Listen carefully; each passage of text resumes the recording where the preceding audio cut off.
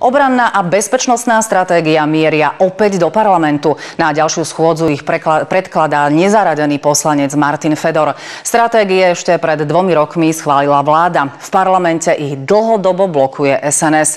Strane prekážajú kritické pasáže o Rusku. Smer a Most Hit dokumenty o aktualizovanom znení podporujú. Martin Fedor verí, že po vypršaní koaličnej zmluvy ich parlament odobrí.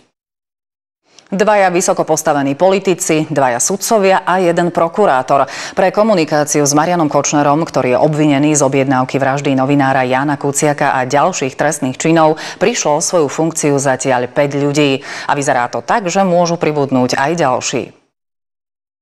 Ministerstvo práce podá trestné oznámenia na niektoré neziskové organizácie. Tie zabezpečujú opatrovateľov pre odkázaných ľudí v domácom prostredí. V tretine prípadov rezort odhalil podvody najmä pri vyúčtovaní záloh na platy opatrovateľov. Rezort práce hovorí, že projekt ohrozený nie je a Slovensko preto nebude musieť vrátiť peniaze z Bruselu. Pád berlínskeho múru pred 30 rokmi si v hlavnom meste Nemecka pripomínajú veľkými oslavami. Vyše 200 koncertov, výstav a umeleckých inštalácií prilákalo tisícky obyvateľov aj mnohých turistov. Tibor Macák sa o tom, ako prežívali udalosť, ktorá spôsobila aj pád komunistickej totality, porozprával s bývalým generálom Bundeswehru a tiež s redaktorkou rakúskej ORF. Tibor Macák, ktorý sleduje oslavy v Berlíne, teraz v správach RTVS aj naživo. Dobrý večer. Tibor, vyvrcholený oslav sa očakáva zajtra. Ako to v meste vyzerá teraz? Čo všetko je ešte pripravené?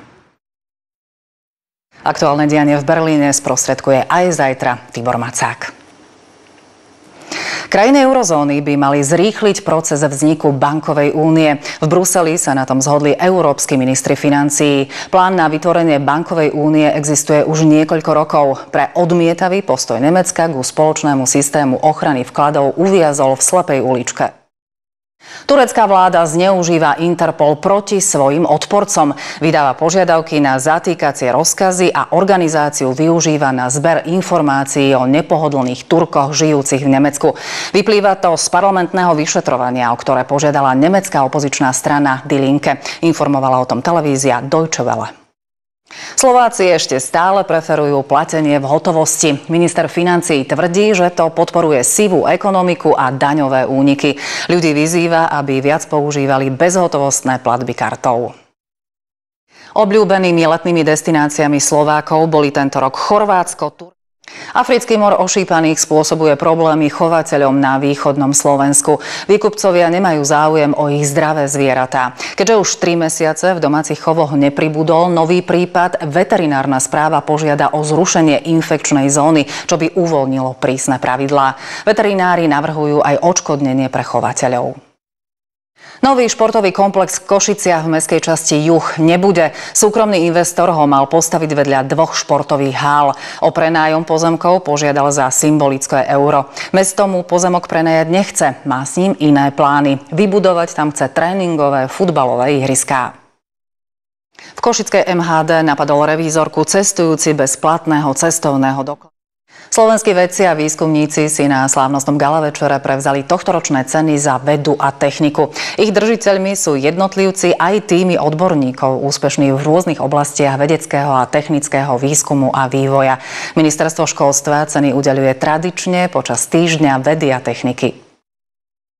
Trenčín hostí milovníkov dobrodružných filmov a besied. Trojdňový festival Horizonty ponúka vyše 50 filmov z 11 krajín. Viaceré majú na Slovensku premiéru. Prvýkrát si mohli diváci pozrieť aj prolog k pripravovanému filmu Bicykel.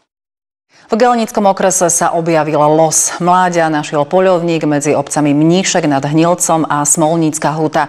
Zviera stálo niekoľko dní uprostred potoka. S pomocou zoológov sa mu pokúsili pomôcť. Nepodarilo sa.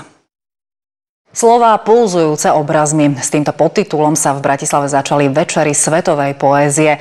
17. ročník najväčšieho medzinárodného festivalu Ars Poetica pritiahol na Slovensko aj svetových básnikov a umelcov.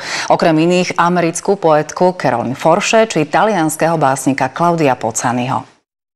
Milujem Slovensko a v dobrej spoločnosti s Jarmilou Lajčákovou Hargašovou pozvánka na sledovanie jednotky. Familia na dvojke predstaví rodinu mladého vinára a 8. epizódou pokračuje výpravný seriál o histórii kinematografie Odisea. Do nočnej pyramídy Rádia Slovensko príde významný klinický onkológ Štefan Korec. Ďakujem, že ste boli s nami. Príjemný večer.